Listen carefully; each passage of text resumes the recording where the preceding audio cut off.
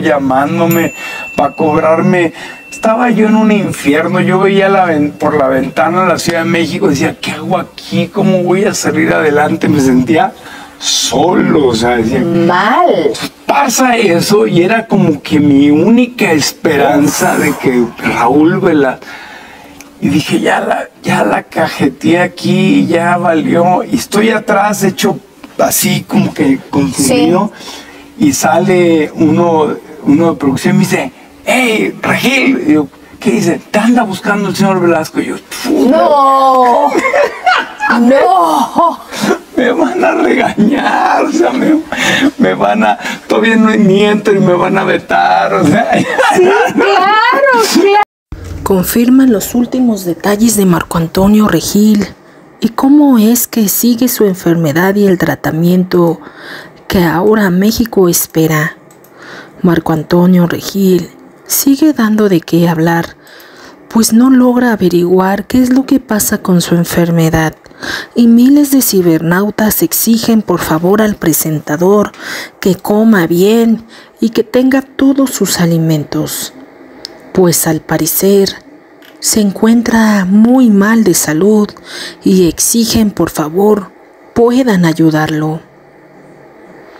Con lágrimas en los ojos, Marco Antonio Regil le confesó a Patti Chapoy cómo es su sentir después de estar enfermo y lidiar con la enfermedad que lo tiene desde hace algún tiempo.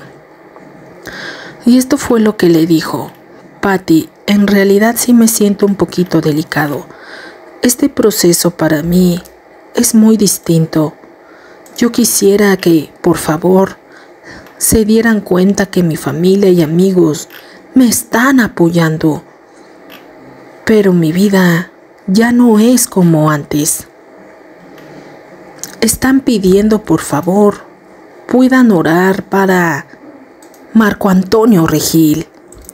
Ahora en tu canal Hola Soy la Feli nuestro contenido es totalmente gratis y diario podrás disfrutar de lo mejor. Solamente suscríbete lo antes posible para que veas todavía más información. Así fue como Marco Antonio Regil le comentó prácticamente esta verdad a Patty. Extraño a mi mamá. Es delicado y he hecho lo posible para salir adelante. Mi familia sé que me espera y estaré al pendiente de lo que suceda. Ahora es importante que puedas suscribirte y escuchar parte de la entrevista que le hicieron a Marco Antonio Regil. Firman los últimos momentos de lo que sucedió. Es un proceso en el cual yo tengo que salir adelante y recuperarme porque ha sido complicado, le comentaron a Patty. Sin lugar a dudas, expresan su sentir lo que pasó. Por favor, necesito que me ayuden. Con lágrimas, esta es la verdad y lo que él habla. No te metas en nada. Y tú, entonces los mandaron a cable, a Televisión México, y literalmente a la semana que se fueron nos habla el director de la, de la estación y nos dice, joven, hablaba, era José Luis Wash, hablaba así. Sí, sí. ¿Lo conociste? A, sí, claro. José Luis Wash. Claro. Se acaban todos los programas. Todos, porque todos se acaban. Y todos están despedidos. Así nos corrieron a todos. ¡Wow! así como, ¿qué hago, no? Claro. Y entonces, pues el universo, Diosito, la vida es muy grande porque eh, fue la mayor bendición que pudo haberme pasado, porque si hubiera seguido acomodado ahí, quizá nunca me hubiera aventado, no sé. Claro. Pero como lo perdí todo, no me quedó otra más que agarrar un avión y venirme a la Ciudad de México a buscar chamba. Ajá. Y pues me vine y nadie me daba chamba y nada.